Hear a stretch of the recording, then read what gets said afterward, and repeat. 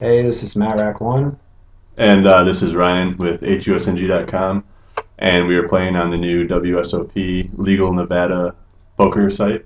Um, this is one player to a hand, so I'm just going to be asking Matt questions here as he plays with these uh, annoying sounds. yeah, usually uh, early on, I'm just going to start off like min raising every button, just figure out uh, how my opponent's going to play. Uh, it's only a $10 game right now, so it'd be really interesting if we see any type of unusual spewy play from the player, or he's going to play a little more straightforward. Uh, I'll probably play a little tighter out of position until I feel no, I'm not going to make any plays or anything like that. So uh, structure is 100 big blinds, what, five minute levels? Um, So it looks like a player on the left. yeah, I think it might be like five minute levels. The structure starts 100 bigs deep, and uh, I think it goes like 15 30, then 25 50, 50 100, and 75 150. Just a little bit of a slower turbo structure than usual. I'm gonna feel out how he reacts to the birdie. Some people just give up. Some people play back more at these. He's shown some aggression so far too, so it'd be interesting to see what he does. yeah, and that was the first time he really limped. So I really kind of want to figure out how he's gonna play that way early. Like when we're 100 bigs deep, it's a lot cheaper to make a maybe not so great play out of position. Hmm. Well, the time in between hands on this really is kind of slow. uh, let's him see.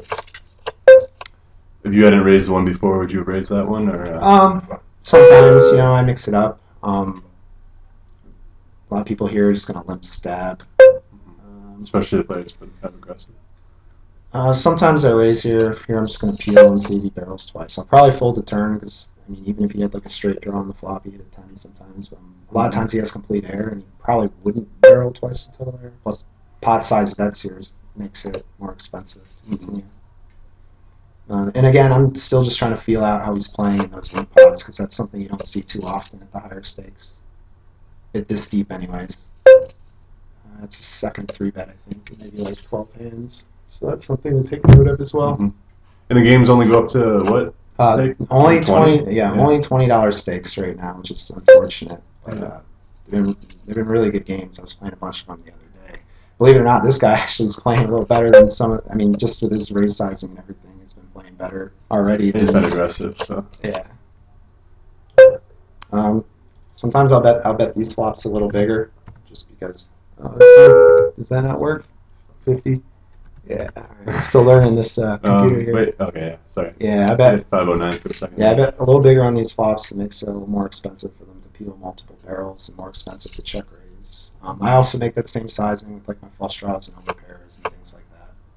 Um, I'm probably gonna mix in a three bet here, um, just because it seems like a good spot to do so. See how he reacts to three bets. Just using a standard 3x size there. Yeah, I'm not stacks, doing yeah. anything too crazy. Um, probably gonna bet a little bigger on this flop just so this range is a little more defined. Oh yeah, there's these ones. 140. Does the uh, wheel not work for this? the wheel? The wheel is there like a bet size wheel? Uh, I'll have to mess around with that. That would be quicker. Yeah, I'm still learning the software. It's still incredibly new to me. Mhm. Um, but even though, like, I mean, we're still at uh, the lowest blind levels, so. So you get a lot of time to feel someone out in these this uh, structure. It seems like. I did it again. This is one of those boards I bet smaller on. And I feel like lot- he's just gonna check raise here. a lot of people, but see, a lot of people auto check raise this board, and that actually helps out a lot later on. Like even though right here I'm just going to give up, you know, it, later on when I flop big hands. I was yeah. I was gonna say before that queen hit, you very well might just have the best hand anyways. Guy, I feel like this guy could be floating with complete air sometimes. Yeah, plus he seems to like those pop bets. I haven't called, I haven't looked him up yet when he's made one of those pop You bets. haven't really been in the position to either. I don't think. Yeah, but because of the sizing, I think I'm going to be less likely to be defending passively out of position with hands that don't flop, you know, top pair at least. Mhm. Um, actually, I'm just going to check call here because. I figured he might bluff a lot there, but Yeah, I feel like he had showdown value the whole way, so this is kind of a, you know, do I want to check Okay. call or I want to bet like to get value from the four? But if he has a king, he's going to bet, so I might as yeah. just. I like the bet. I was gonna say he played his hand like he had a four there a lot of Yeah, times. he's got four or king high, and if he has a king, well, that's pretty mm-hmm. gross.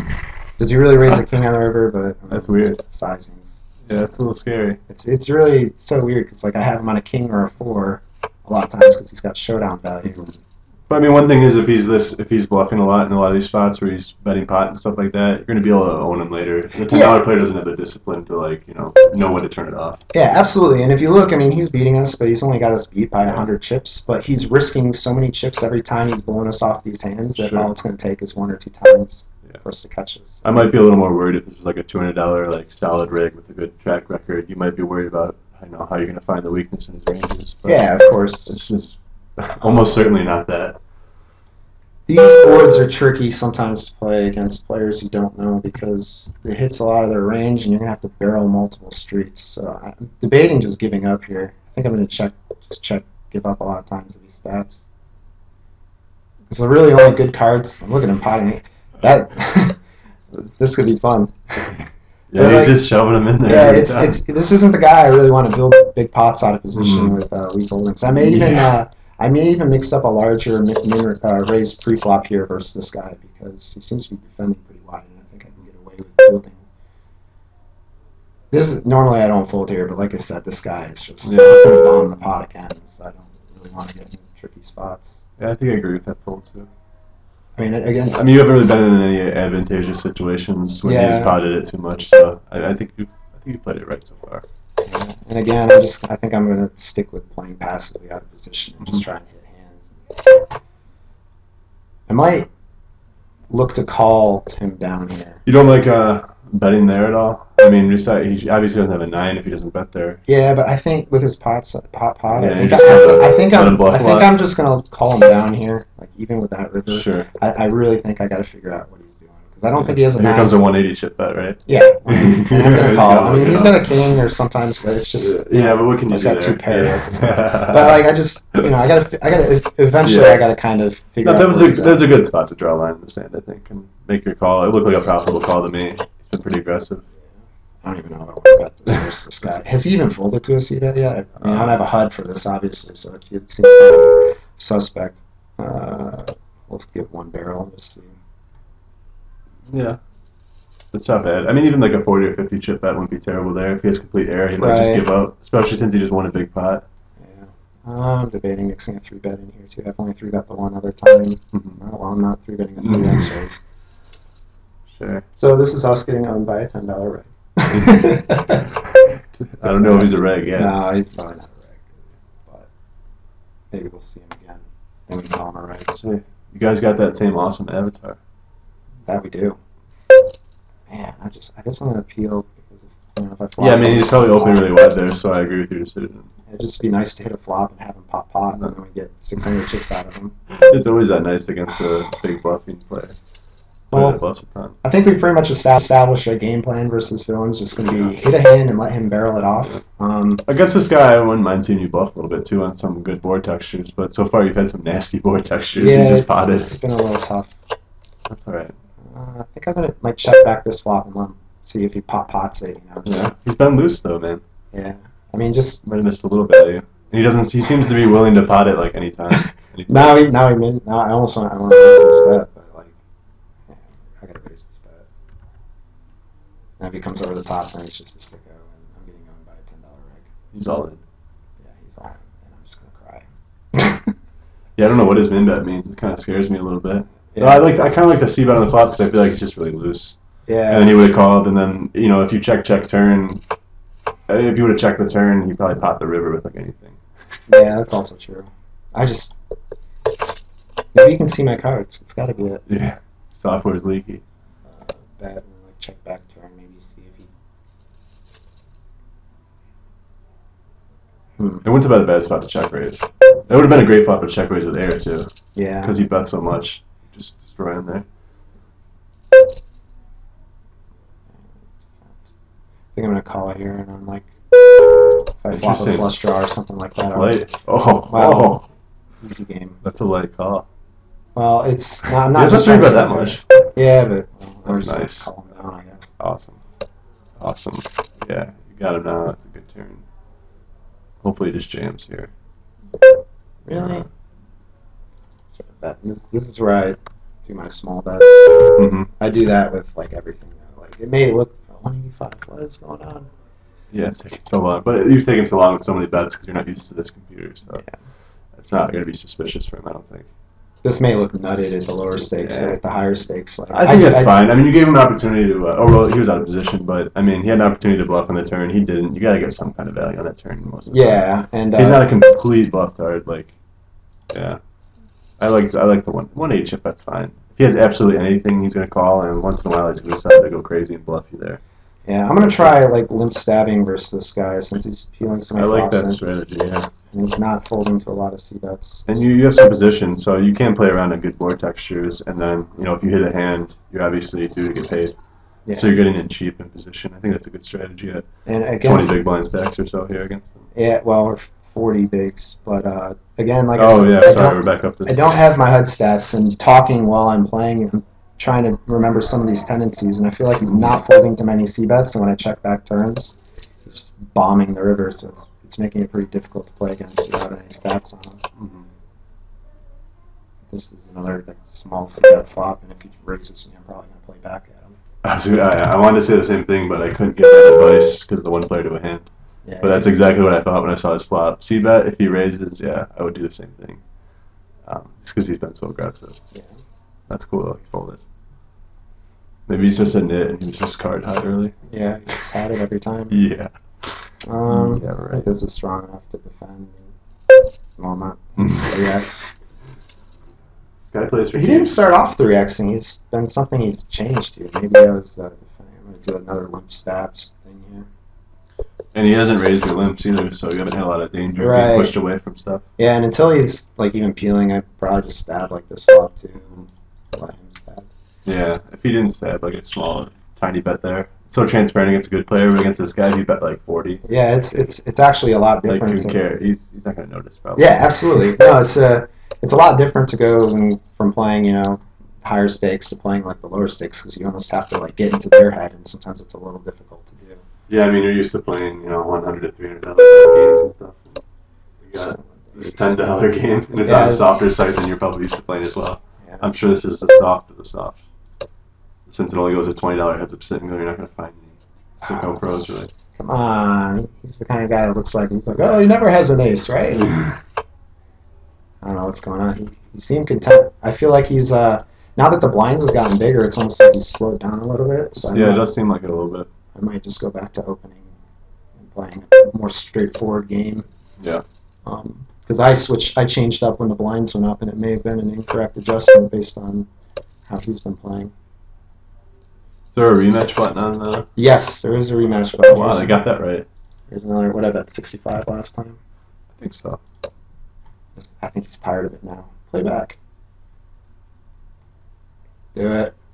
Oh, He's got no discipline. This guy. He's letting you run him over now that you got hands. Oh, it's just a nit. Maybe he just had it every time. Nah, I doubt it. He's just, I think he's just changing gears a little bit. He's gotten away with some, and he's a little. I. I think the next level goes straight to 5100. So then, Yeah, I see it up there. On top left, it tells you. yeah.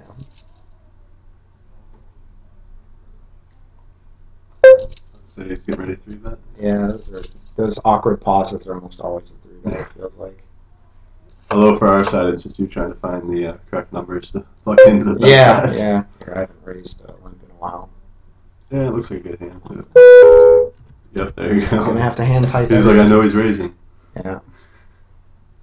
Well, at least when I take my time to raise, it seems stronger. I guess. I don't know. It's, it happens every time. So Yeah. I'm Hollywooding, it's okay. Alright, back to the normal strategy. Hey.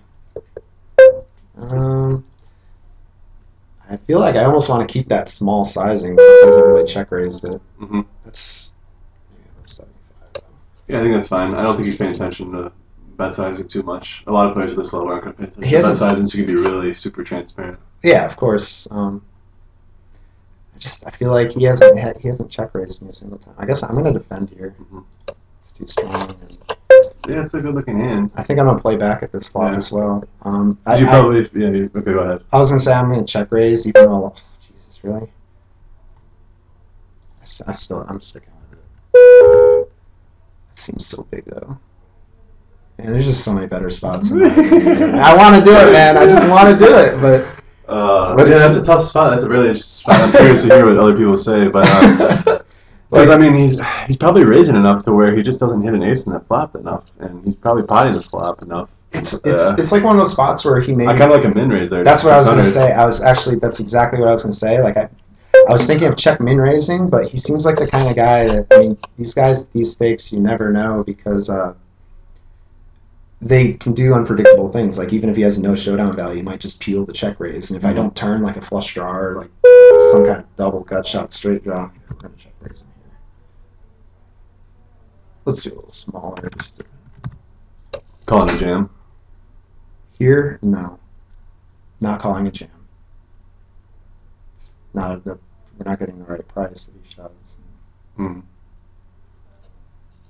Mm. So well, that tells us a little bit. I don't think You should have raised the 600 on that ace side flop. I guess I should have. All right, now we got. Right, let's see how he. Sometimes, People get kind of weak here. Sometimes. yeah, sometimes fish start folding way too many of their uh, big blinds here. I think this flop I'm gonna check back again just because uh, You want him to. I want him to barrel, and if he's got two unders, he's not really. Yeah, he's not a threat to you. There's no flush draw. Like, yeah. That's pretty cool. I feel like I have to call him down. I would agree, yeah. That's a pretty bad river if he's betting a nine. But I mean, this guy could have. You know, you never know. Yeah. I guess I'm just calling him down. Yeah, I like the call. Hey, Nice. look at that. Nice hand. Yeah. I mean, yeah, exactly. This is why I like your strategy earlier in this game when you were playing a little tighter. You weren't looking him up that much with, in some spots that were kind of questionable. He looked like he was bluffing, but you know, um, yeah. All in all, it just it led you to a spot where you know he just took a stack where he's probably bluffing a high percentage there. Yeah, and that's another thing where the early on in the match, um, he might think he's getting away with all these pot bets, and he gets a little carried away with it later when it's a much larger portion of his stack, and that just leads to us with a pot there where you know he just kind of bluffs it all off. Do we get a rematch here or what? Um, hang on, click OK. Congratulations. We can do. what you like? Do you want yeah, yeah, yeah, it's rematch. We Rematch got some reads on him. He's an aggressive player. This is someone who's probably valuable to someone who's playing, you know, five dollar to twenty dollar, thirty dollar level. Yeah. So Uh, looks like he's going to decline though. He Yeah. So just pull up another game then.